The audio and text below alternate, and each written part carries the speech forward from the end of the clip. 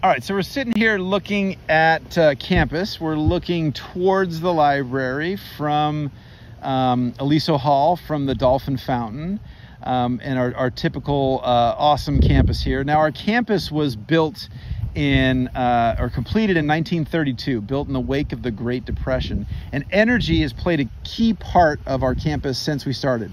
What we're looking at right here, so we see the Dolphin Fountain on the left here, and then we see the original power building and then the off to the right we can see the the the well where we filmed the movie The Ring. This is on the top of Peanut Hill.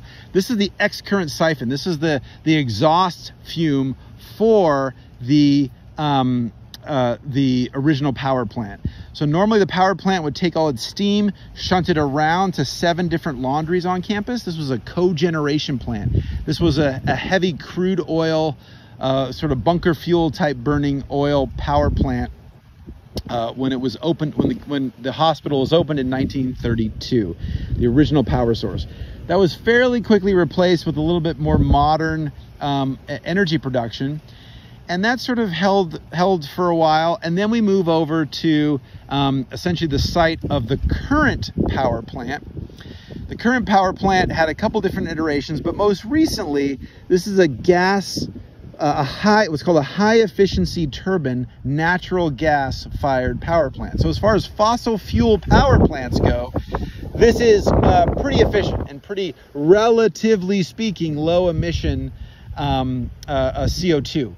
Uh, this really went into operation just before campus became campus. So if you look at our campus logo, it says established 2002. This was established before then and was basically our source of power. Now, the key thing that was happening here was Enron. So Enron was coming into the California marketplace. There was all this pressure to uh, divest from from monopolies and all this kind of stuff.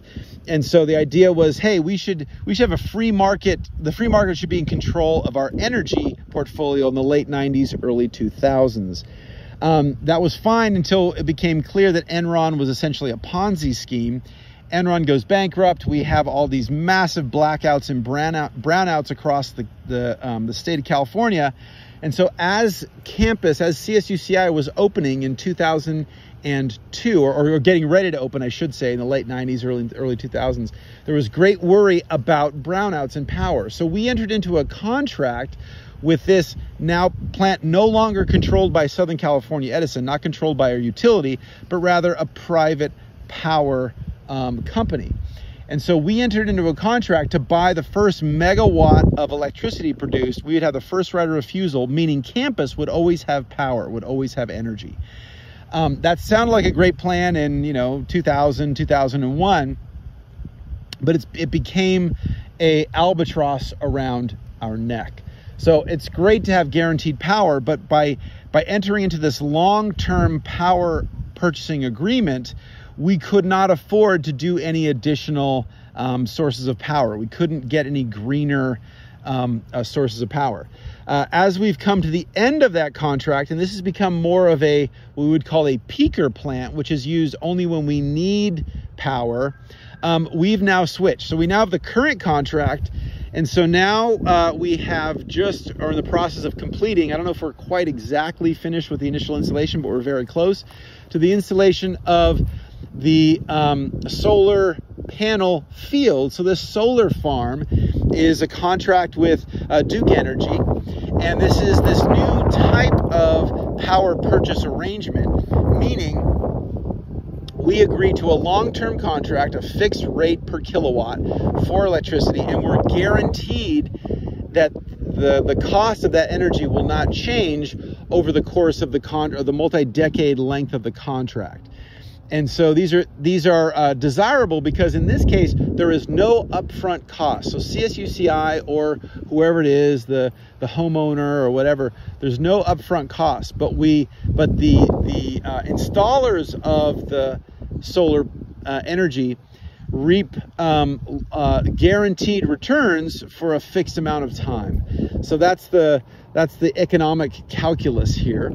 Um, so we are we so this this installation began during the pandemic. We have this awesome field of solar power um, units and this is going to be supplying campus power. Um, now, this obviously is solar power, so we're not supplying power in the nighttime, but nevertheless, we're supply supplying power to the campus uh, during uh, most sunny hours of the day. And yeah, and so that this, this is our, our fantastic new uh, solar array. We hope to be able to be walking around in here.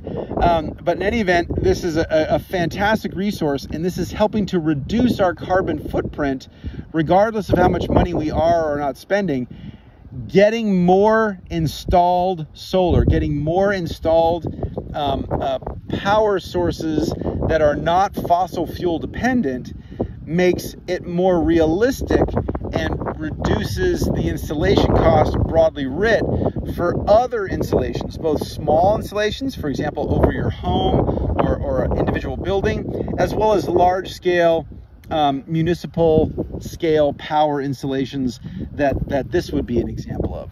We're trying to do all kinds of wonderful things here, such as install pollinator plants, etc., around the periphery of, of these arrays. Um, but, uh, but, but we need more of this. We need more of this across this, the state. We need more of this across the U.S.